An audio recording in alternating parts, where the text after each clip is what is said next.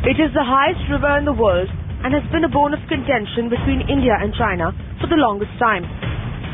The river known as Siang in Arunachal Pradesh, which originates from China, suddenly found to have almost dried up in the town of Pasighat in the East Siang district of Arunachal Pradesh. This riverbed in Pasighat, which once had the majestic Brahmaputra gushing through it, is now parched and barren. बयालीस साल में ऐसा नदी सूखेगा बोल के कभी सोचा नहीं था हम लोग। लेकिन इस साल दो महीने से हम लोग तो डेली शाम को इधर घूमने आता है और ये देखा है कि नदी में पानी नहीं।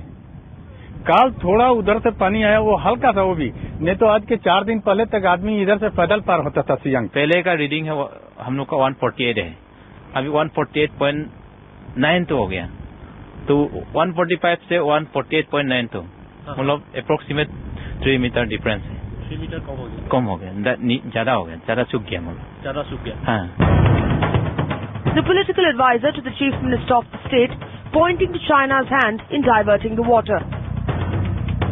I presume that the, in China side there is a uh, dam construction maybe there, and there is a uh, mega dam might have been constructed. That may be the reasons, and then or some of the important tributaries of Siang River has been diverted uh, Uh, to other places. Dhabi even claiming that the tributary of the river could have been diverted between China and Tibet because of a dam that could have been constructed by China. there is any breakage tomorrow, then entire Pasighat will be in danger. The lives and property will be, I think, in crores it will be lost. So precaution measure is to be taken by Itanagar and Delhi. strongly recommend that there should be a immediate urgent cooperation between China and India, especially using satellite imageries to identify whether any artificial dam has been created on the upper reaches of Brahmaputra.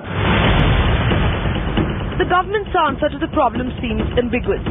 The minister providing an evasive response to Times Now's direct question on a day when Indian and Chinese foreign ministers met. There are reports of uh, river drying up in Arunachal, uh, apparently because dams were built in Tibet, in that area. So can you tell us, give us a briefing on these three points? every possible issue that is raised whenever China and India uh, dialogue takes place were raised and uh, we have uh, understood uh, each other's position. It was only last year that China claimed it would not divert the Brahmaputra river. But the sudden and alarming pace with which the water levels are receding in Arunachal, questions are now being raised if the government will take this issue up with China. With Arundam Das in Guwahati, Sanjana Chauhan, Times Now.